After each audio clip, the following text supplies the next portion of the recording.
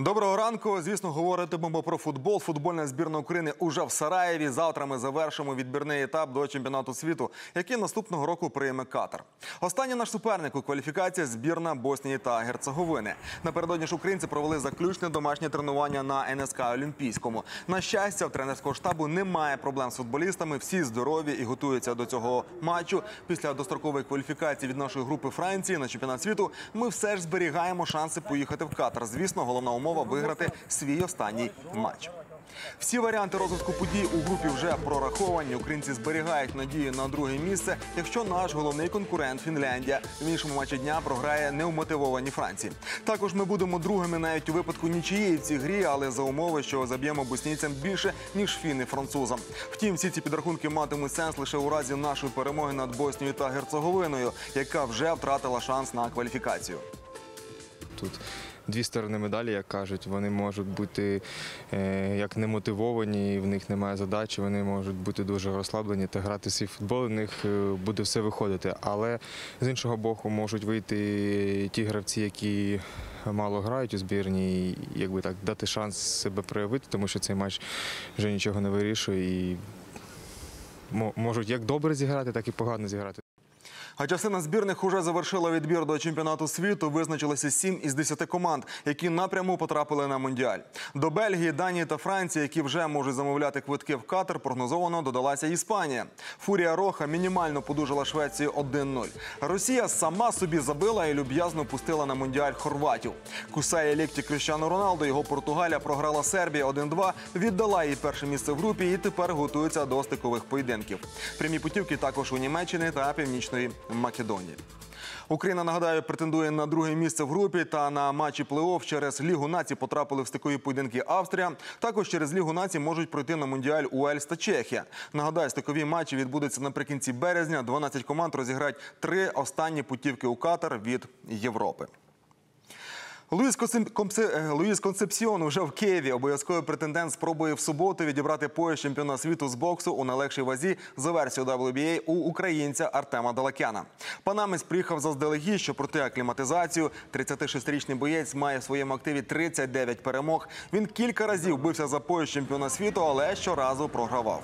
Артем Далакян не збирається поліпшувати статистику опонента. Для непереможного українця це буде вже п'ятий захист поясу WBA. У разі успіху Далакян зможе претендувати на об'єднавчий бій у своєму дивізіоні.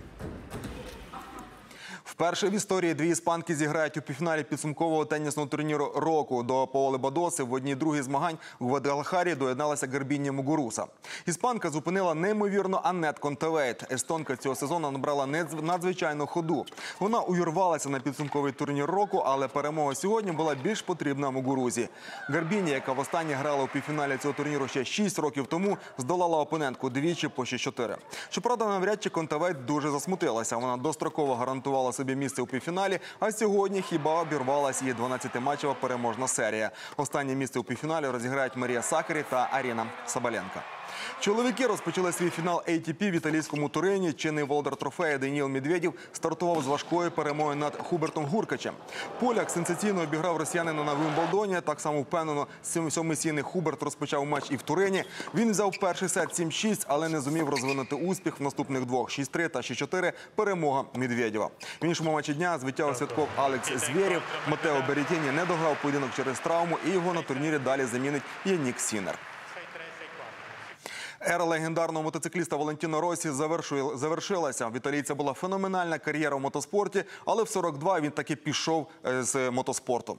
Про вихід на пенсію італієць заявив ще влітку. А останніми перегонами для нього стало гран-прі Валенції. Загалом в мотоспорті Валентіно провів аж 26 сезонів. Проїхав 432 гран-прі і 9 разів вигравав титул чемпіона світу. Останні його перегони були дуже емоційними. Росі приїхав лише 10-тим, але отримав теплі вітання. Італійця буквально носили на руках і дякували за неймовірні роки в мотоспорті. Цікаво, що етап виграв Франческо Банія, якого тренує Росі. Свої перемоги він присвятив Валентіно. А у Формулі 1 панує Льюіс Гемілтон. Неймовірний британець, попри всі негаразди у Бразилії, таки виграв перегони на трасі Інтерлагус. Він стартував лише десятим, але вже за 6 кіл піднявся на третє місце. На горі пелотона теж було цікаво. Ботас, який поїхав з pole position, програв перше місце Ферстапену. Саме Макс майже усю гонку був лідером, але не втримався. Неймовірний Гемілтон впевнено продирався на гору пелотону, а на 59-му колі змусив глядачів зіскочити зі своїх місць. Льюіс вийшов в лідери і виграв. На фініші він привіз другому Ферстапену аж 10 секунд. За три етапи до закінчення чемпіонату світу перевага лідера Макса Ферстапена над Льюісом Гемілтоном у заліку пілотів скоротилася до 14 очок.